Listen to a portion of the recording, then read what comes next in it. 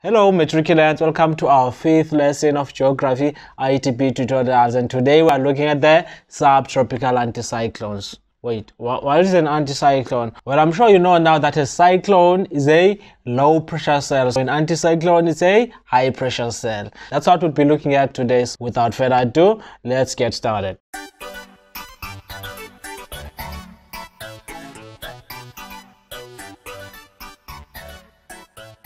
Alright guys, so by the end of the lesson, we should be able to list and explain the location of three high pressure cells that affect South Africa. Number two, discuss the general characteristics of these high pressure cells. And lastly, discuss and explain anticyclone air circulation around South Africa and how these three high pressure cells affect the climate of South Africa. Okay guys, so let us look at the location of these three high pressure cells. Okokuqala and it's very important to know what ukuthi two are located over the oceans and one is located inland. Let us look at the diagram to better explain this. So we've got the map of South Africa and here are the three high pressure cells esikhuluma ngawo. Yokuqala it's this one that is called the South Atlantic High. Why is it called the South Atlantic High? It's because it's found in the Atlantic Ocean. ESBN here is found in the Indian Ocean, hence it's called the South Indian High. Yokugcina is found within the continent. So it's called the Continental High or the Kalahari High, sometimes also referred to as the Interior High. So i bet you wondering why ngidobe imap yami kuleli side kwaba blue kuleli side kwaba red. Okay let me ask you a question before ngiqhubeka. Uh, kambe between the atlantic ocean and the indian ocean which one is warm which one is colder?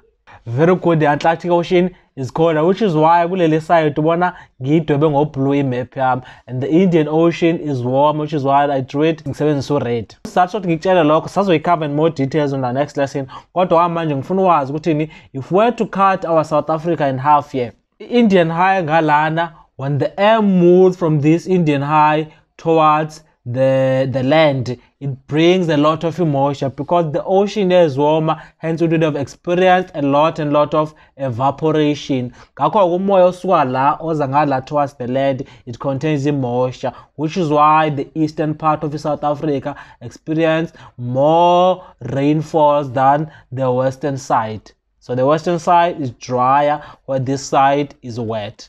Kodwa sozokucover in more details lokho bengifuna ukubeka nje isithombeni okwamanje Okay, so as per the general characteristic of these anticyclones, they form in the subtropics in the high pressure zone, which means now they're influenced by the 30 degree latitude, which is our subtropical high, the boundary of the Hadley and Ferrel cell. I'm sure you're kumbula logo from your grade 11 content. They are associated with subsiding air. Kumbula what a low pressure previously society we've got rising air because it's hot there. So with high pressure, we've got subsiding air because it's cold. That's what subsiding air means. Subsiding means the same thing as sinking. Okay, they're associated with dry air and clear skies. Obviously now because there is no evaporation, the air is not rising, there are no clouds that would be forming. So that's why we've got clear skies. On the earth's surface, air diverges away from the high pressure cells. It's the opposite of what happens with low pressure. With low pressure side air converges. So with high pressure, the air diverges away from the high pressure. It diverges because it's going towards the low pressure. Remember from grade 11 with the pressure gradient it says air always from a region of high pressure to a region of low pressure. That's why I said with high pressure, we've got divergence, whereas with low pressure, we've got convergence. Don't forget that. The wind spiral out of the high pressure in an anti-clockwise direction. This is simply the opposite of what happens with low pressure. So to be specific, this is our high pressure again. So the wind spiral out, out in an anti-clockwise direction. I'm sure uyakhumbula ukuthi it's the opposite of what happens in the northern hemisphere. Yonke lento ngikhuluma ngayo la mostly is what happens in the southern hemisphere the continental high cell which is known as the kalahari cell exists over the interior and dominates the weather conditions within South Africa because it is at the center of South Africa. which is very important to remember about the Kalahari High is that it is higher in the atmosphere in summer and then it is lower and stronger in winter okay? So in other words so if i'm to simplify this for you guys is that okay let's say this is the earth's surface i don't know if this is clear. So it moves upward this way you would find it it's weaker because in summer it's very very hot. Some of the air if not most of the air is rising up. Hence our high pressure cell moves upwards. Then yeah winter because it's very very cold the high pressure cell is going to be found close to the earth's surface because the air continuously subsides causing the high pressure cell to be stronger on the earth's surface. Lokhu obviously bese sikuchazile ukuthi ama-high pressure cells they are also known as anticyclone. Okay now let us look at how all of these three high pressure cells affect the climate of south africa. First we're going to look at the south atlantic high. When the south atlantic high is on the south edge of the country ahead of the frontal depression, it deflects the depression in the southeasterly direction and prevents it from reaching the land. And mostly this is what happens in summer. Let us look at this diagram to better explain what I'm saying. So nansi high pressure to lana ahead of the frontal depression, which means in front of our frontal depression. What is a frontal depression? Very good. It's a mid latitude cyclone because it contains the cold and the warm front. So say nayi i-cold front i-mid latitude cyclone yethu yeza okay? And by the way khumbula ukuthi i-mid latitude cyclone it's a low pressure cell okay? And what do you know about our pressure gradient? The pressure gradient says air always move from a region of high pressure to a region of low pressure. Now ngenkathi low pressure yethu iza towards the land ne? Because there are winds or air moving from this high pressure towards the low pressure the wind is going to deflect say low pressure yethu siyilanga ithi move yalaphana towards the land. The wind coming from this high pressure is going to deflect this mid latitude cyclone towards the southeast. This is what happens mostly in summer. That's why i'm a mid latitude cyclone engafiki ecape town summer. The exact opposite of this can also happen. Let me erase this ngekuchazele so what happens if our south atlantic high is behind the cold front? It's going to reinforce the cold front or the mid latitude cyclone to move even further towards the land. So this time say here is our high pressure cell here and then we've got a mid latitude cyclone coming this direction. It's moving again from the 60 degree latitude moving towards the land. Now because the high pressure cell is here it's going to reinforce the mid latitude cyclone to move even further towards the land. I, I hope you get it. Here are the two diagrams showing you what i was explaining to you on the previous slide. So lana at a you can see with high pressure yethu is deflecting the mid latitude cyclone. Okay? Then lana this is when the high pressure reinforces the mid latitude cyclone. It accelerates the mid latitude cyclone to move even further towards the land. Let us look at how the south indian high influences the climate of south africa now. We're saying it causes onshore northeasterly or southeasterly winds to blow over the eastern parts of South Africa. What does onshore mean, Gamp? Onshore means from the ocean towards the land. So the winds are going to move from east towards west, northeasterly or southeasterly. That simply means from east to west. Now if you simplify lento le. Let me draw a diagram of South Africa la khona ngizokwazi ukuyichaza kangcono lento ngizama ukuyichaza la. Okay so this is a diagram of south africa. We've got the high pressure with south indian high lana and the winds are going to move from this high pressure towards south africa because we'll be having temporal low pressures within the land because uzokhumbula ukuthi the land heats more quicker than the water. So while we have a high pressure lana we'll be having low pressure la. And again le nto idependele ku-pressure gradient yethu ukuthini? Air moves from a region of high pressure towards a region of low pressure. Manje ngicela ukhumbula hambe at the beginning of our lesson stay yiphi warm is the indian or the atlantic ocean?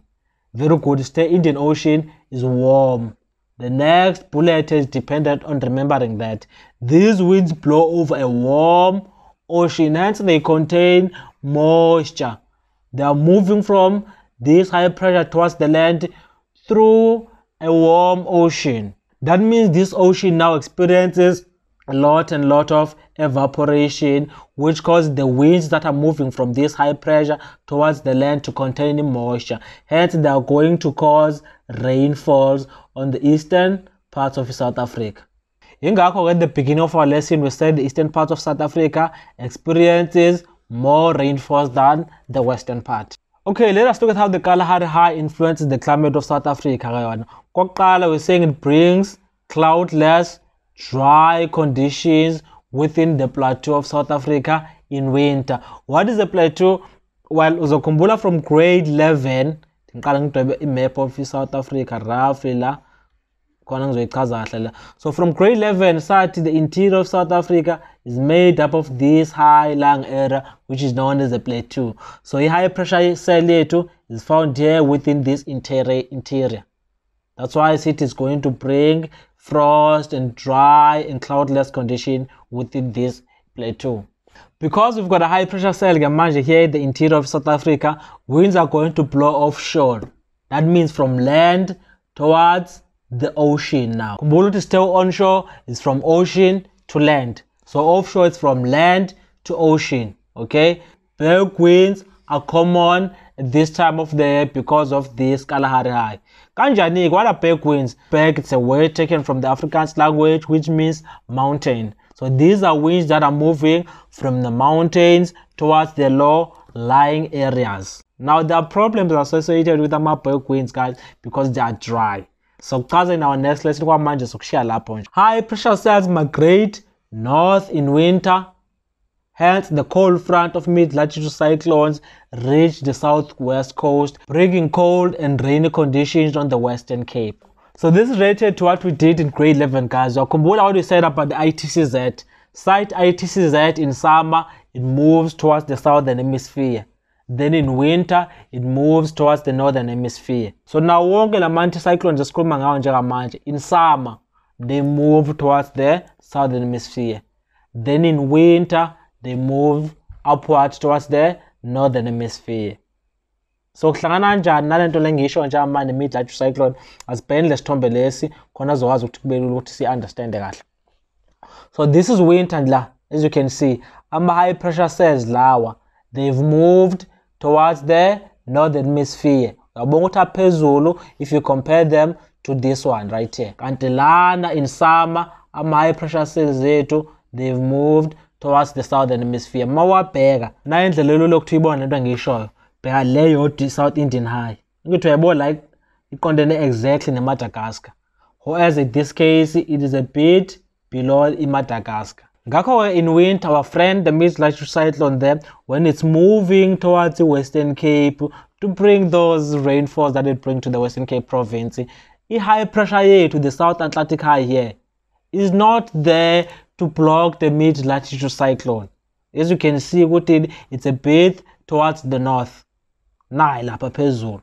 That's why the mid-latitude cyclone will be able to move and reach the Western Cape province lap. Whereas in summer, here's our friend again, the mid-latitude cyclone. It's moving towards the Western Cape again, doing what it always does. But unfortunately, this time, the South Atlantic High is a bit towards south. And what is it going to do? Very good. It's going to block the mid-latitude cyclone because of the winds moving from it now. It's going to block the mid-latitude cyclone when it reaches this point. Hence, it's going to be deflected. Do you get that? I hope you do, guys. Back to our slide again. So, summer, the low pressure cell over the land. High becomes weaker and move up the atmosphere. we are left with a low pressure.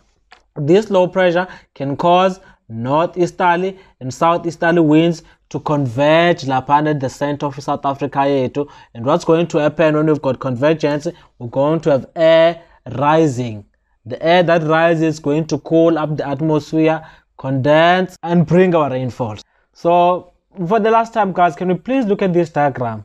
If a question was to come out in the exam or test or assignment, and the question is, which season is represented in this diagram? What would you say? Summer or winter? Summer? No, it's not summer, guys. It's winter, okay? It's winter. And how do we know it's winter? Because at the continent here, there's a high pressure. If it's summer, it would be represented by a, a low pressure. Please do not forget that. And this brings us to the end of our lesson. I hope you managed to learn a lot. I'll see you on our next tutorial where we'll be looking at the traveling disturbances associated with this subtropical anticyclone. Stay tuned, stay blessed. Bye bye.